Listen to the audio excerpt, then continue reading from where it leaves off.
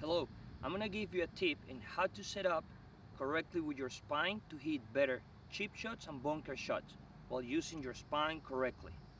So at address, make sure your spine is tilting to the left, okay? Because that's gonna get the low point of the swing in front of the ball, which is gonna help you to hit ball and then ground where you're chipping around the greens. For bunker shot, it's gonna be the opposite.